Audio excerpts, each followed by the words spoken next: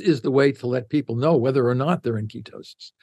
So some people say, "Oh yeah, I, I eat a ketogenic diet." I said, "What's your GKI?" Well, I never measured. Well, how do you know you're in ketosis? Meet Dr. Thomas N. Seyfried, PhD, a top researcher who studies how changing the way people eat can help manage diseases like cancer and epilepsy. His work shows that changing metabolism can kill cancer cells and improve the health of normal cells. Dr. Seyfried examines the chemical and genetic reasons behind these changes, focusing on inflammation, cell health, blood vessel growth, and fat biochemistry. He has written over 150 research papers and the book Cancer as a Metabolic Disease on the origin, management, and prevention of cancer. Dr. Seyfried has won many awards, including the Alumni Achievement Award from the University of New England and the Lifetime Achievement Award from the Academy of Comprehensive and Complementary Medicine. Disclaimer Please consult with a healthcare professional before making any health related decisions or changes to your diet and lifestyle. Cancer is an intricate disease characterized by relentless cell growth and voracious energy demands. It poses a profound challenge in the realm of medical research. Dr. Seyfried has studied how cancer cells use energy differently. Uh, allows a lot of well, we built it for the cancer folks uh, so that they can know how to kill their tumor cells uh, and also deliver drugs. When the when the cancer patient is in ketosis they, the drug delivery can kill the tumor cells much more effectively. In cancer cells change how they make energy. Instead of using the usual process called respiration they prefer a different way called fermentation even when there isn't much oxygen. This switch to fermentation is a key trait of cancer cells, as they rely heavily on sugars like glucose and glutamine for energy. Dr. Seyfried's research shows how cancer cells work together to use fermentation in both the cell's main part and the energy powerhouse, mitochondria. They have special systems that help them use sugars for energy. This highlights how cancer cells have unique ways of getting the energy they need to keep growing and spreading. Dr. Seyfried's research suggests that changing what we eat could potentially impact how cancer cells grow and spread. One approach he explores is called a ketogenic diet. This diet involves eating foods that are high in fats, moderate in proteins, and very low in carbohydrates. By doing this, the body enters a state called ketosis, where it burns fat for fuel instead of carbohydrates. Cancer cells typically rely heavily on glucose and glutamine, which are types of sugars, to fuel their rapid growth. However, when someone follows a ketogenic diet, the levels of glucose and glutamine in the body decrease because they are not consuming as many carbohydrates. This reduction in available sugars can starve cancer cells, making it harder for them to grow and divide. Additionally, Dr. Seyfried suggests So, can you starve the tumor cell of their fermentable fuels and kill them? And the answer is absolutely. It's an elegant, beautiful system, and when it's done right, it, you can't believe how well it works. That combining a ketogenic diet with medications that target the metabolism of glucose and glutamine in cancer cells could potentially stop the energy production that fuels tumor growth. This combined approach aims to disrupt the unique way cancer cells generate energy, potentially slowing down or even killing cancer cells. A ketogenic diet focuses on high fat, moderate protein, and very low carbohydrate intake. Studies show that the ketogenic diet can help manage cancer by changing the body's metabolism. Here's how it works cancer cells need a lot of glucose, sugar, to grow. A ketogenic diet reduces the amount of glucose in the body because it limits carbohydrates, which are the main source of glucose. When the body doesn't have enough glucose, it starts to use fat for energy. This process produces ketones, which healthy cells can use for fuel, but cancer cells cannot. One study showed that when mice with brain tumors were put on a calorie restricted ketogenic diet, the growth of the tumors slowed down. The ketogenic diet targets cancer cells in a few ways. It reduces inflammation, starves cancer cells, decreases growth factors, and improves the health of normal cells. Cancer cells thrive in inflamed environments, and the ketogenic diet lowers inflammation by reducing the activity of NFKB, a protein that controls inflammation. This was seen in mouse models, where lower NFKB activity meant less inflammation and slower tumor growth. Without glucose, cancer cells struggle to survive. The ketogenic diet deprives them of their primary fuel source. At the same time, normal cells switch to using ketones for energy, which cancer cells cannot effectively use. The diet also reduces the levels of insulin and other growth factors that cancer cells need, slowing down the rate at which cancer cells can multiply. While cancer cells are starved, normal cells become healthier. They use ketones for energy, which can protect them from damage and improve overall health. Dr. Seyfried explains that combining the ketogenic diet with other treatments can be even more effective. For example, studies have shown that using the ketogenic diet along with a drug called 2-deoxyglucose 2-DG can greatly reduce tumor growth. 2-DG works by entering cancer cells and blocking their ability to use glucose, which leads to energy loss and cell death. When used together, the ketogenic diet and 2DG hit cancer cells from two sides. They starve the cancer cells of glucose and disrupt their energy production.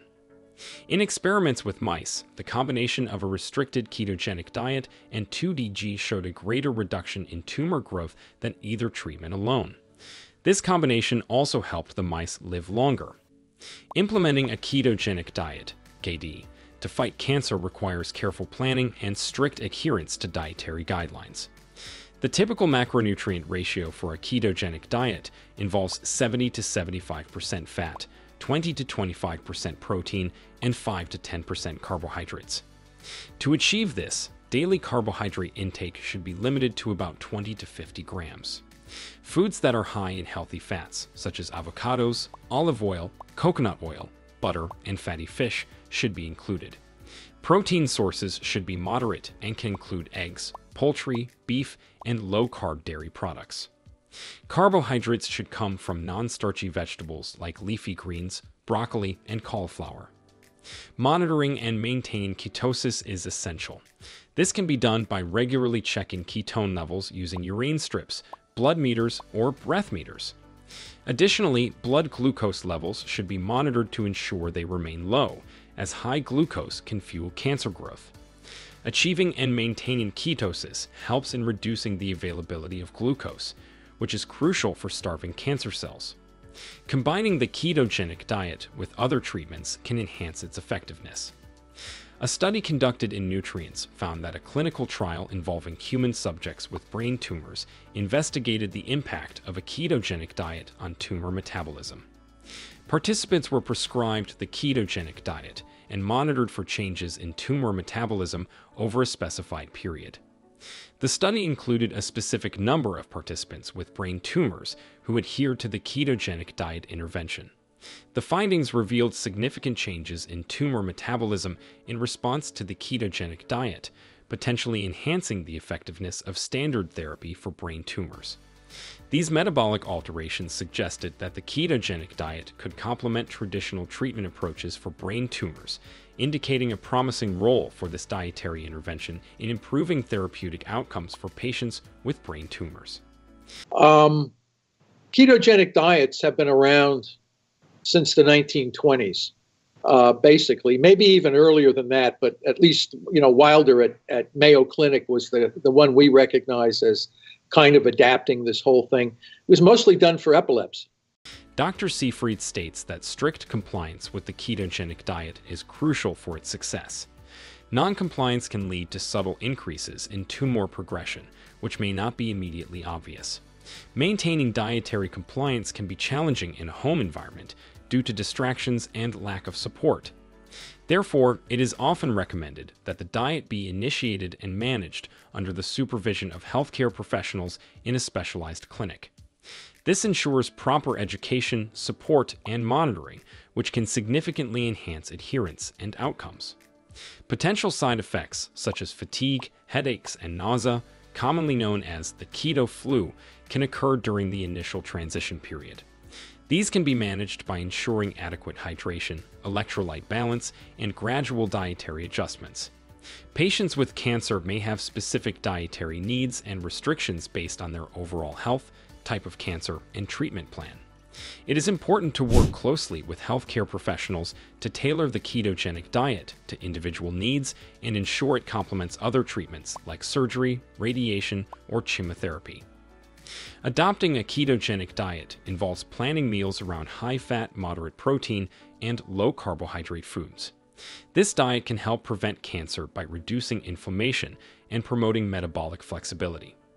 Below are some delicious and easy to make ketogenic recipes for various meals of the day, ensuring you can enjoy tasty dishes while staying within the dietary guidelines. Breakfast Keto Avocado Egg Bake.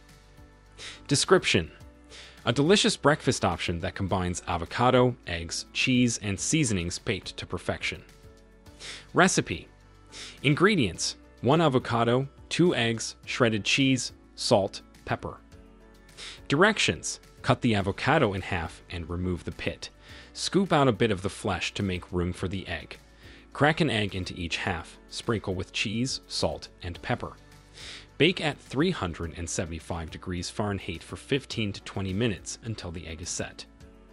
Lunch Keto cauliflower mac and cheese. Description A low carb version of the classic mac and cheese using cauliflower as a substitute for pasta. Recipe Ingredients 1 head of cauliflower, 1 cup heavy cream, 2 cups cheddar cheese, 1 half cup cream cheese, 1 teaspoon mustard, salt, pepper. Directions Steam cauliflower florets until tender. In a saucepan, heat heavy cream and add cheddar cheese and cream cheese until melted. Stir in mustard, salt, and pepper. Mix with cauliflower and bake at 375 degrees Fahrenheit for 20 minutes. Dinner Keto Chicken Alfredo. Description Creamy and rich chicken Alfredo made with zucchini noodles instead of traditional pasta. Recipe Ingredients 2 chicken breasts, 1 cup heavy cream, 1 cup Parmesan cheese, 2 cloves garlic, 3 zucchinis, spiralized.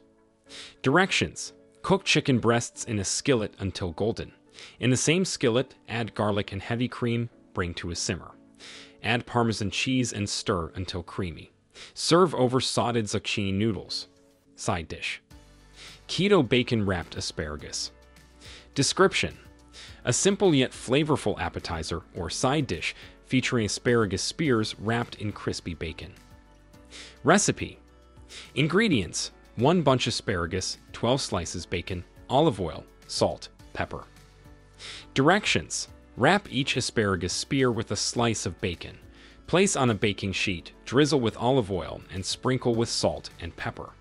Bake at 400 degrees Fahrenheit for 20 minutes until bacon is crispy. Snacks Keto Fat Bombs. Description these small, high fat snacks are perfect for boosting your fat intake on a ketogenic diet. They come in various flavors like chocolate, coconut, or peanut butter. Recipe Ingredients 1 half cup coconut oil, 1 quarter cup cocoa powder, 1 quarter cup peanut butter, sweetener optional. Directions Melt coconut oil and mix with cocoa powder and peanut butter. Pour into molds and refrigerate until solid. Appetizer Keto Taco Stuffed Bell Peppers. Description Bell peppers filled with seasoned ground beef or turkey, topped with cheese and baked until tender. Recipe Ingredients 4 bell peppers, 1 pound ground beef or turkey, 1 packet taco seasoning, 1 cup shredded cheese. Directions Have and seed the bell peppers. Cook ground beef or turkey with taco seasoning. Fill peppers with meat mixture, top with cheese, and bake at 375 degrees Fahrenheit for 20 minutes. Seafood dish Keto lemon garlic butter shrimp. Description Succulent shrimp cooked in a lemon garlic butter sauce, served with zoodles, zucchini noodles, or cauliflower rice. Recipe Ingredients 1 pound shrimp, 4 tablespoons butter, 3 cloves garlic, juice of 1 lemon, 2 zucchinis, spiralized. Directions Saute shrimp in butter with minced garlic until pink. Add lemon juice and toss. Serve over zucchini noodles or cauliflower rice. Dessert Keto cheesecake. Description a creamy and indulgent dessert made with an almond flour crust and a rich cream cheese filling sweetened with a keto friendly sweetener. Recipe Ingredients 1 cup almond flour, 3 tablespoons butter, melted, 16 ounces cream cheese, 2 eggs, 1 half cup keto friendly sweetener. Directions Mix almond flour and melted butter, press into a baking dish to form the crust. Beat cream cheese, eggs, and sweetener until smooth. Pour over crust and bake at 325 degrees Fahrenheit for 45 to 50 minutes. Party dish Keto Buffalo Chicken Dip. Description A spicy and cheesy dip made with shredded chicken, cream cheese, hot sauce, and melted cheese, perfect for parties or game nights. Recipe Ingredients 2 cups shredded chicken, 8 ounces cream cheese, 1 half cup hot sauce, 1 cup shredded cheddar cheese. Directions Mix shredded chicken with softened cream cheese and hot sauce. Spread in a baking dish, top with cheddar cheese, and bake at 350 degrees Fahrenheit for 20 minutes. Breakfast treat Keto coconut flour pancakes. Description Fluffy pancakes made with coconut flour and served with sugar free syrup and berries. Recipe Ingredients 1 quarter cup coconut flour, 4 eggs, 1 quarter cup almond milk, 1 slash 2 teaspoons baking powder, sweetener. Directions Mix all ingredients until smooth. Cook pancakes on a griddle until golden brown. Serve with sugar free syrup and berries. These recipes will help you stay on track with your ketogenic diet while enjoying a variety of delicious meals. By integrating these tasty options into your meal plan, you can maintain a diet that supports cancer prevention and promotes overall health. Dr. Seyfried also states that fasting is another powerful method to prevent cancer. Unlike starvation, which is harmful, therapeutic fasting maintains metabolic homeostasis. During fasting, the body switches to using ketones for energy, sparing protein and protecting the brain. Vitamins and minerals stored in the body are slowly released, supporting overall health during fasting. Studies have shown that people can fast for extended periods without adverse effects. This process, known as autophagy, breaks down and recycles inefficient cells, potentially targeting precancerous cells. Combining the ketogenic diet with fasting can enhance its effectiveness. For instance, a seven day, water only fast once a year can help the body get rid of precancerous tissue. It typically takes two to three days for blood glucose to reach therapeutic levels of 55 to 65 mang slash dol and ketones to reach 3 to 5 mol. Once in this metabolic state, cell death and autolytic cannibalism begin, purging the body of cancerous tissue. For those unable to conduct longer fasts, several shorter fasts, two to three days, two to three times a year, can also be effective. Dr. Thomas N. Seyfried's innovative approach to cancer treatment through metabolic therapy offers a beacon of hope in the fight against this relentless disease. His research suggests that by shifting the body's energy production from glucose to ketones through a ketogenic diet, we can exploit cancer cells' metabolic vulnerabilities. This strategy, especially when combined with other treatments, has the potential to significantly impede cancer growth and improve patient outcomes. Embracing such dietary changes requires dedication and professional guidance, but it opens up a promising, less invasive pathway for managing and potentially overcoming cancer. Always seek advice from healthcare professionals to tailor these strategies to your individual needs and treatment plans.